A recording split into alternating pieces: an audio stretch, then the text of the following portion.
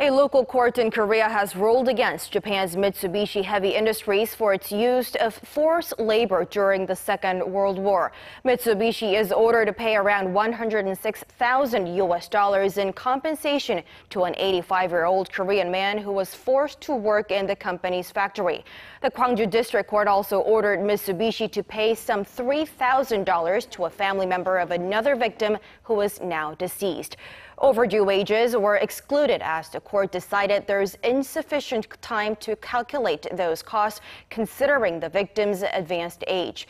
The plaintiffs claim they were forced into unpaid labor at a Mitsubishi aircraft plant in Japan in 1944, and the Japan Japanese company is expected to appeal the ruling.